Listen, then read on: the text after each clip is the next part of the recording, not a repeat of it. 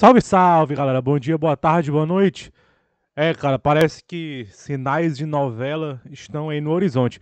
Cara, o o Kane, enfim, resumindo para não dar muito, para não perder muito tempo dos senhores. O Kane tá forçando a barra para sair do Tottenham. É, tá aqui, ó. Fabrício Romano confirmado. Kane não apareceu para os treinos do Tottenham, né? Como o cara desse Paul Gilmore da Sky Sports é, revelou. É, ele foi informado que é uma, uma escolha do Kane e não tem nada a ver com Covid, com teste de Covid, né?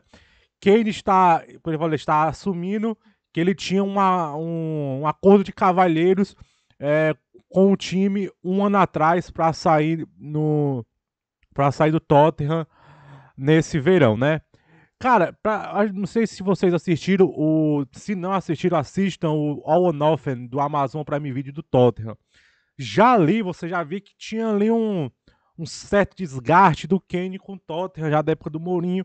É, é, é tipo assim, uma temporada passada mesmo. Que o Kane quer ganhar troféus. O Kane já não é um. Já não, já não é um. É, como posso falar? Já não é um. Um garoto, né? Então. Ele tem ali seus. Deixa eu pegar aqui a idade do Kane. Kane já tem, já tem seus 30 anos, 28, 29 anos. Deixa eu ver aqui. Ah, 28 anos. Então, tipo assim, já tá na idade dele, do, do auge dele físico. E ele quer ganhar troféus, quer ganhar títulos. Eu acho que tem muita gente que tirava o peso daquela, daquela final da taça da liga, né? Ano passado eu falava, essa taça da liga é muito mais importante que o pessoal acha. Porque eu acho que o Kane ele quer ganhar troféus e, tipo, o Tottenham hoje não dá essa condição. E na Inglaterra, o time que dá mais é, chances de você ganhar, levantar um troféu é o Manchester City. Ah, o Manchester City realmente está muito próximo já de anunciar o, de, de, contratar o Jack Grealish por 100 milhões de libras.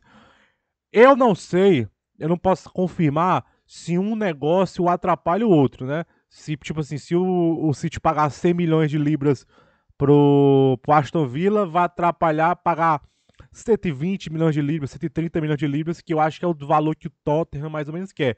Já foi informado que eles querem lá coisa de 160 milhões de libras pelo Tottenham. O Daniel Levy, né, que é o cara que toma conta do futebol do Tottenham, né, é o cara que é o CEO do clube, é o cara que tá por dentro de todas as operações do Tottenham. Ele já é conhecido por um cara que não dá muito desconto. E tipo assim, e, e, e para qualquer jogador. Imagina dar desconto pro maior estrela do time. Eu acho isso praticamente impossível. Ou é o valor que o Tottenham quer, ou ele não vai sair. O Tottenham já recusou 100 milhões de libras e mais jogadores. É bom deixar claro essa proposta que o City fez, é, foi oficial. 100 milhões de libras mais jogadores, que tinha uma lista lá, tinha o Gabriel Jesus, estava na lista. E o Tottenham recusou. Parece que o Tottenham quer coisa de 160, 170 milhões de libras. Eu acho esse valor loucura.